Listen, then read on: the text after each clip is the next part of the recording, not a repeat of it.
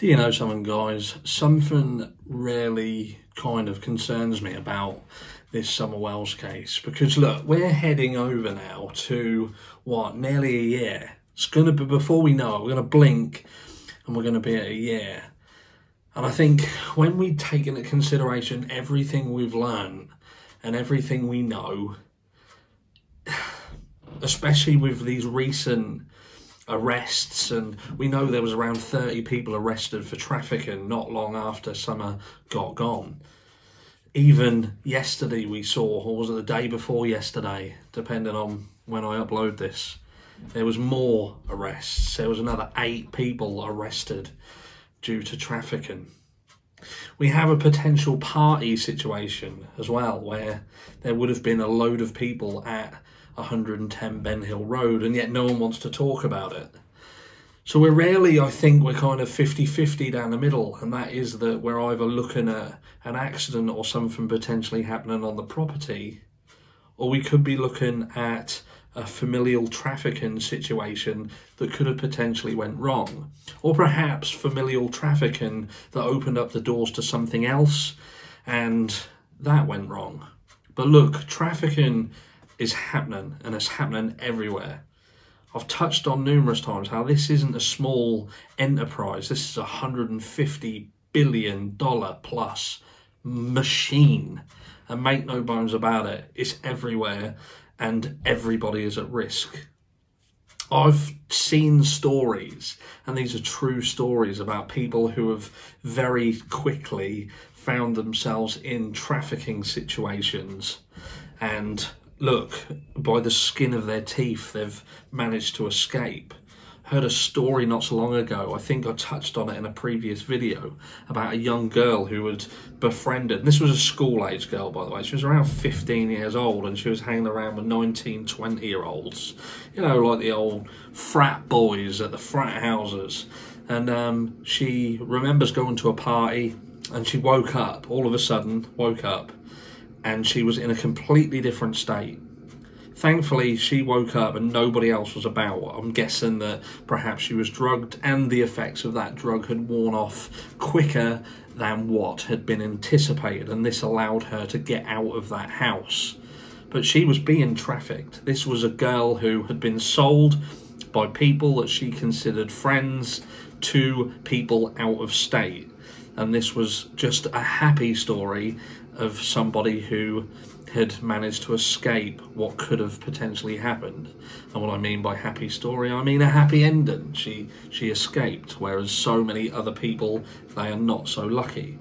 Now was Summer Wells a child that was enveloped in a scenario caused by her parents and her friends um, her parents' friends, and this is just what spilled out onto her because something happened. And look, I can't help but think all of these adults around this area are all lying. They're all lying. We know they are. They're all got stories to hide. They're all telling half truths. They're all elaborating on other things. They're all kind of moving the gravy train as much as they can in order to benefit from the situation themselves, but not giving too much away to how can I say, make themselves culpable or complicit. But let's not make no bones about it. We know that there was things going around there, and these are secrets in amongst this entire circle of people.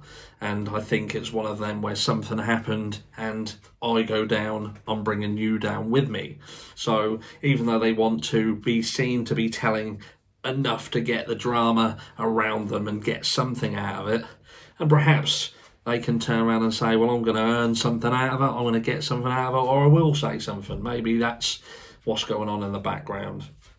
But look, trafficking, back to it. I want to show you these images. And we've touched on the glitchy shoes and the fact that these shoes aren't promoting missing children. They are enabling people who wear these shoes to hide children. I proved in a short video that I done yesterday that the person behind them, which is Joel Brown, which I imagine he has got connections with other people. This is not a lone solitary person. This is someone who is working as part of a bigger machine. And look, I've approached this guy directly under the guise of somebody else who had a missing child and requested whether he could help me, knowing well what I did about him trying to promote missing children. And he blocked me as swiftly as I could tell you this story. I was gone, bang, like that. So don't tell me that his intentions are good. His intentions are disingenuous and they are nefarious. But he is also watching this case. We know that. I proved yet again that he is watching it. There was some drama between two channels, one of them being Benny Keys, and very swiftly after that happened, there was a design of shoes very swiftly uploaded on there that was it was taking a piss out of Benny. Do you know what I mean? It was. It was aiming at him. I touched on the fact whether it could be Tim Mullen. I do find this guy incredibly nefarious. I have known that he has already threatened another YouTuber. Again, I've touched on that. He threatened on him once they touched on something else that was found to be connected with him. And that person felt the need to remove that content um, because he, he, he scared them and they don't want to kind of shake the tree. But I don't care. I don't care. I might upload it myself and do a whole video on it. In fact, I might do a 45 minute long video on it and have you dancing. I can do a little animation of you dancing in the background. That's how much I care. But look, these images, these are YouTube sites and this glitch, what we talk about. Well, when we mention glitch, this is a way that these traffickers find a page, they find a site like YouTube, and they find a way or a glitch in the searching algorithm in order to promote content to people who would be interested in seeing it. Like this channel here is all about young boys half dressed in you know, playing with water, like play fights and things like that, and just in very precarious situations you can't comment on it. There is no comments, and you can see that there is a sinister undertone to it. And this is just one of many, many channels the same. But what it manages to do, it manages to get round the the algorithm so it's not removed. It doesn't look like anything sinister. It doesn't get flagged up for anything because of how it's marketed and there's no comments. Um, I can't see the back end of it, but I would say that it's potentially set for made for kids too, so it leaps over a few other loopholes. But look, make no bones about it, this this page is directed at evil people. And when you look at some of these videos, it is reminiscent of the video we saw with Summer Wells with the barrel with the for sale. If you've not seen that, I have videos on the channel with that. But this is a video where someone was very clearly being asked to dance around a barrel and the barrel happened to have for sale on it. Now, I know these aren't the cleverest people in the world. Is cleverest a word? I don't know. It is now, you know I'm allowed to do that. We do that here.